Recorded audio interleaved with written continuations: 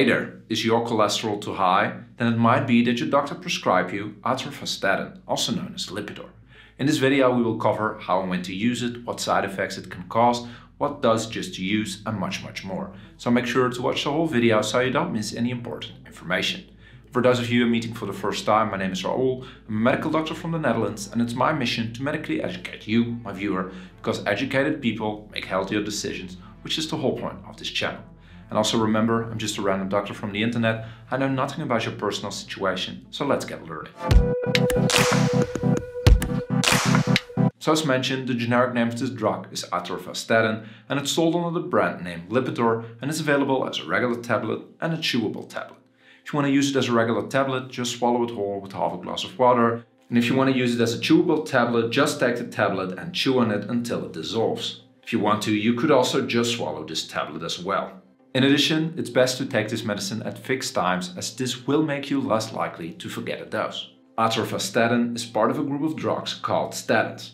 They inhibit the enzyme HMG-CoA reductase, which normally plays an essential role in the synthesis of cholesterol in the liver. Through this effect, this drug lowers the circulating LDL, the total cholesterol, and increases HDL cholesterol, which is the good cholesterol. Through this effect, atorvastatin can be used to treat high cholesterol levels in all adults, and it can also be used to reduce cardiovascular disease. Which brings us to the correct dosages to use, and here I want to mention that I can only provide you with some specific guidelines. Always use the prescribed amount and frequency your doctor gave you, as your specific dose can depend on your indication of use, the side effects you experience, and much, much more. However, when treating adults, most doctors will prescribe an initial dose of 10 mg once per day, which if necessary at intervals can be increased up to 80 mg once per day. An atorvastatin is a very effective drug, but unfortunately it can also cause some side effects. I will list the most common ones in this video, but if you're looking for a complete list, always ask your doctor, your pharmacist, or check your leaflet.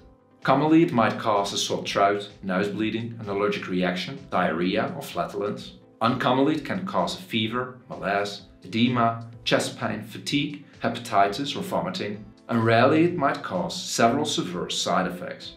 Which brings us to the safety of use. First of all, it's safe to combine atorvastatin with driving, as it's safe to do so. However, combining it with alcohol can be dangerous. Because very rarely atorvastatin can cause liver abnormalities, which increase when you combine it with alcohol. In addition, do not drink any grapefruit juice as this enhances the effect of atorvastatin, which can cause more side effects. Furthermore, it could also have interactions with other drugs you're taking, so always discuss this with your personal doctor. And lastly, for those of you pregnant or breastfeeding, please do not use atorvastatin as it can be dangerous.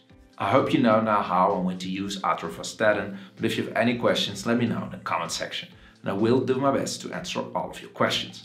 For those of you that want to keep on learning, check out the playlist in the description with more awesome medical videos. And if you did learn something, please leave a like and click the subscribe button. This will help out the channel tremendously and will make me able to make more of those videos. I'm posting them weekly, so I will see you next week with a new video. And if you can't get enough, also check my Instagram at How to Medicate. Bye bye.